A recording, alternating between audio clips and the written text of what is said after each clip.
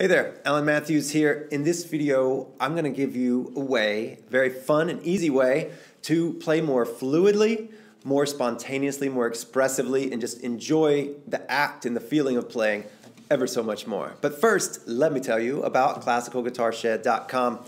If you haven't been to classicalguitarshed.com, please do at your leisure. You'll find all kind of articles and tutorials, big tutorials, small tutorials, on all things classical guitar playing beautifully, phrasing, expression, technique, speed, um, plus articles on the things surrounding, like making more time for classical guitar, things like this.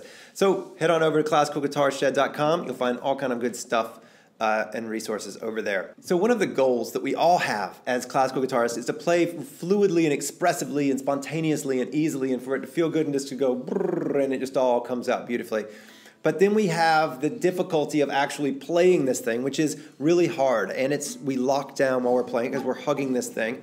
Um, it's not like a piano that you can keep your arms free and things like that, but it's we're actually locked onto this thing. So oftentimes it gets really hard, and classical guitar music is hard. This is one of the hardest instruments there is. To begin with, is you know I'd, I'd be remiss of me not to say learn good technique, and you can find a lot over at Classical Guitar Shed on that.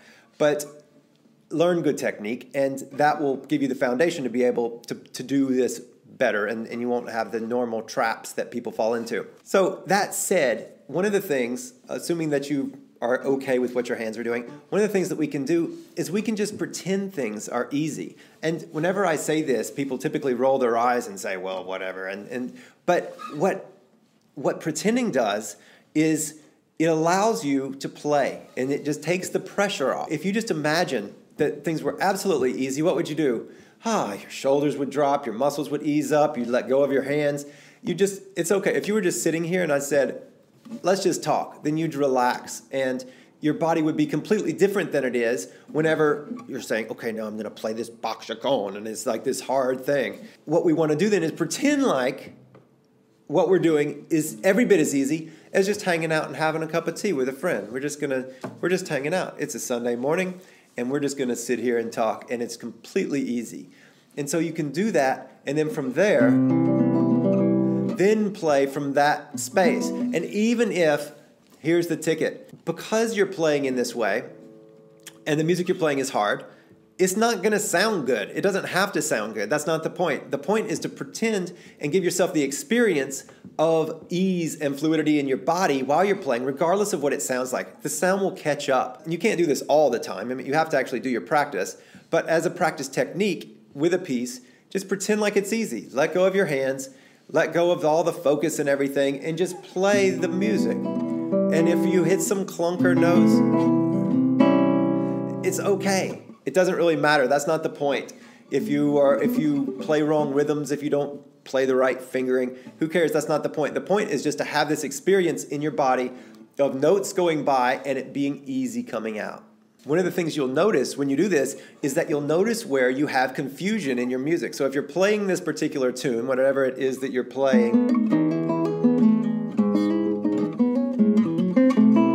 and all of a sudden you play a wrong note or there's this fuzzy spot in your memory, then a point of confusion, you'll notice that and you'll automatically start to tense up and notice it. But if you're at a complete state of ease to begin with, then you'll notice it that much more. Whereas normally, you might not realize that you had a point of confusion at that place. You might think that you knew that spot. But then once you actually release everything and just roll through it as if you don't have a care in the world, then you might notice where there is confusion. And so then you're basically lowering the threshold to tension and notice where you tense up. And that's really valuable as well because then in your practice, you can say, I need to practice that spot more. Or you can say, at that spot, I need to release my leg. I have this, this tendency right there that I arch my back or I tense up my thigh right there at that particular spot in the music. You can catch that. Lastly, this is wonderful to do away from the guitar so that you can practice. I love off, off guitar exercises, things you can do during the day to improve your guitar playing so that you increase your practice time without the actual instrument. You can do this throughout the day. So if you're doing something, if you're sitting at your desk at work or if you're, you know, going for a walk, just all of a sudden, I think of it as falling up. Ah, you just kind of release yourself and just let go of all your muscles. I mean, don't fall on the ground, but just release everything and pretend like everything you're doing is even easier than it is. as if you were in zero, zero gravity, and all of a sudden you just go poof, ah, you just let go of everything. And you can do this anywhere. You can do it sitting right right now as you're watching this. You can sit in front of your computer and just be like, ah, things are easier than I'm making them. Pretend that they're easy and do them differently. Brushing your teeth. So there's some tips for you. Pretend things are easy, and then pretend like you're not pretending. That's the real ticket. All right, take care. Have fun.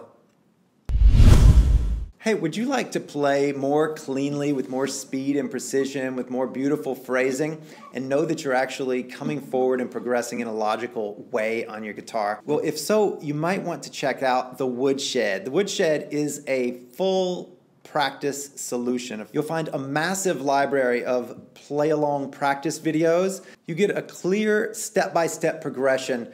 There's a massive practice library there with videos that you actually play along with. So practice along videos, training your different areas of your technique so that you know that that's solid.